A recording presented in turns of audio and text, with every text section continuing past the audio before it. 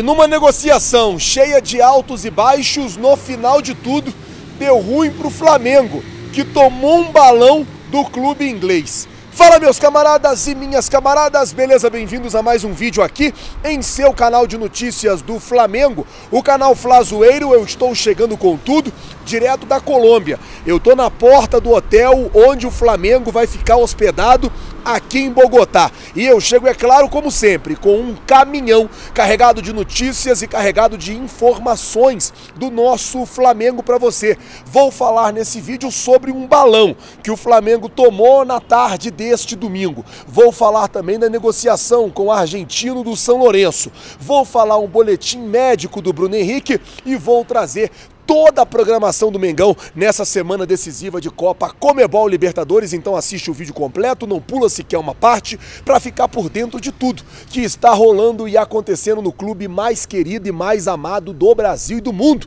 o Clube de Regatas do Flamengo nosso amor. Mas antes de qualquer coisa, deixa eu pedir a você, torcedor rubro-negro que assiste o nosso canal, botão vermelho aqui embaixo escrito inscreva-se. Se inscreve no canal, acione o sino da notificação, deixa o teu like, porque o teu like ajuda demais o nosso trabalho, teu like ajuda demais o nosso crescimento e como eu sempre digo, galera, é muito importante para nós. Como você sabe, nós estamos aqui na frente do hotel que vai servir de concentração para o Flamengo. O Flamengo chega aqui na Colômbia amanhã e a gente vai estar tá fazendo toda a cobertura do Mengão para você nesses dias de oitavas de final de Libertadores. Então, se não é inscrito, botãozão vermelho, escrito inscreva-se, se inscreve, acione o sino, deixa o like para ficar por dentro de tudo. Bom, Flamengo chega amanhã, 8 horas da noite, horário local, aqui em Bogotá, 10 horas da noite, horário de Brasília. Flamengo vai ficar aqui em Bogotá de segunda para terça, treina terça-feira aqui, em aqui em Bogotá e segue de ônibus para Ibagué na terça-feira. Deve chegar na noite de terça-feira em Ibagué dorme em Ibagué. Na terça-feira, joga quarta contra o Tolima, volta para Bogotá. Vai para treina em Bogotá na quinta, vai para São Paulo na quinta noite, chega em São Paulo, dorme em São Paulo, treina em São Paulo na sexta, no Parque São Jorge, que é o CT do Corinthians, vai para Santos, joga contra o Santos no sábado e depois volta ao Rio de Janeiro. Essa é a programação do Flamengo. Lembrando que nós estaremos acompanhando o Mengão em toda essa programação, trazendo todas as notícias, todas as informações do nosso Flamengo para vocês. Falando sobre o Flamengo, falar sobre o boletim médico do atleta Bruno Henrique. O Flamengo soltou uma nota e disse: o atleta Bruno Henrique foi operado neste domingo, dia 26, no Hospital Copa Star. Foi realizado um procedimento de reconstrução dos ligamentos cruzados e anterior e do ligamento colateral e do canto postero, posterolateral do joelho direito. A cirurgia foi feita pelo Dr. Luiz Antônio Vieiras e Diego Caos, acompanhada pelo gerente de saúde e alto rendimento do Flamengo, Dr. Márcio Tanuri. O atleta terá alta amanhã, no dia 27, e iniciará a fisioterapia no CT do Ninho do Urubu no dia 4 de julho. O prazo de recuperação, como todo mundo já sabe, infelizmente, vai de 10 a 12 meses. Então, situação do Bruno Henrique é essa, operou. É, Tomara que o Bruno Henrique tenha uma recuperação rápida, tomara que ele tenha um pós-operatório também muito bom, uma cicatrização muito boa. A gente deseja tudo de bom ao Bruno Henrique. O Bruno Henrique é um jogador que a gente gosta e a gente sempre quer o atleta muito bem. Bom, vamos mudar de assunto, falar sobre o mercado da bola, porque hoje de manhã a gente trouxe a informação para vocês sobre o argentino, né, que joga lá no São Lourenço, o, o jovem, o jovem Agustin Martegani.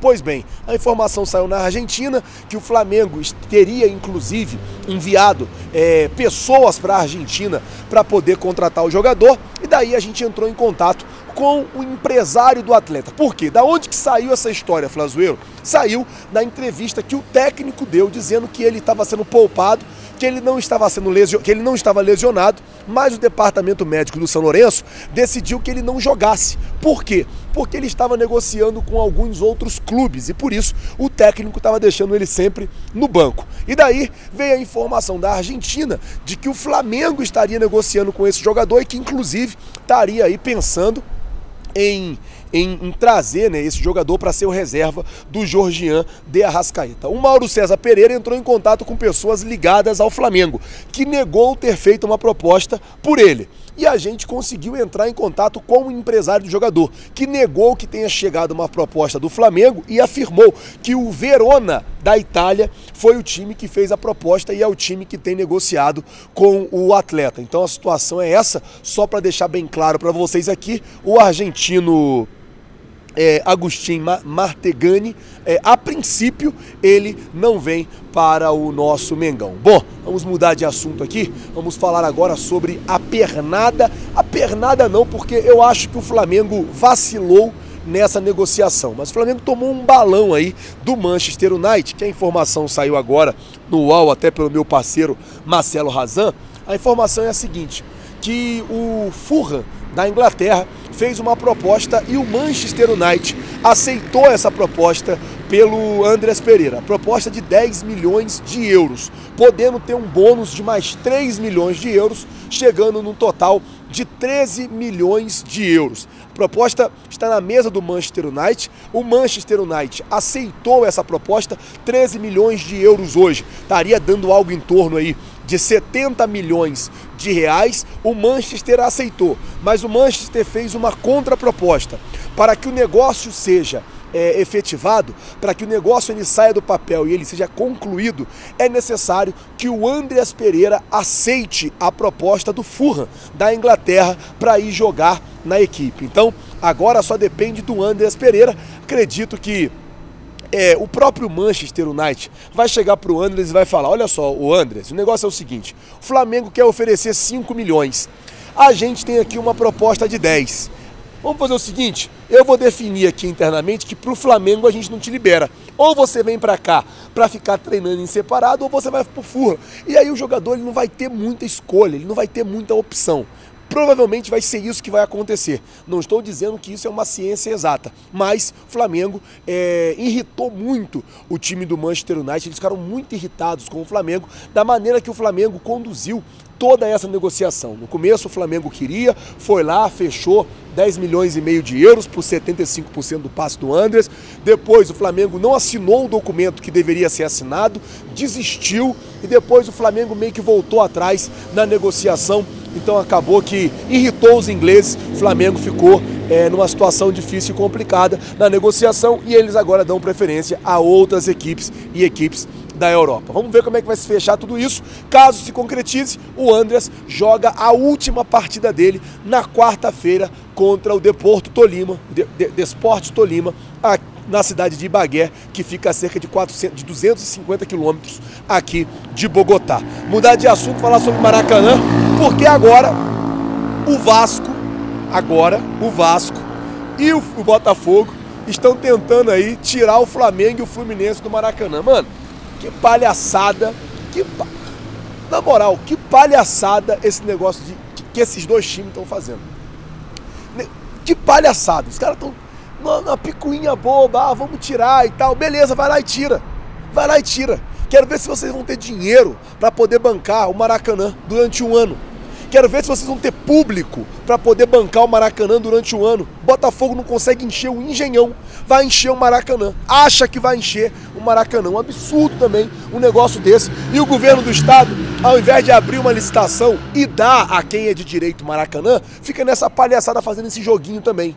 Bom, falar aqui. O presidente Rodolfo Landim, até falei isso de manhã, informação que sai é que ele já está negociando com a Prefeitura do Rio para uma possível contratação, para uma possível construção, Tolima, para uma possível, para uma possível, para uma possível é, construção de estádio no Parque Olímpico da Barra. Vamos ver como é que vai ficar essa situação aí também. Bom, galera, eu vou ficando por aqui.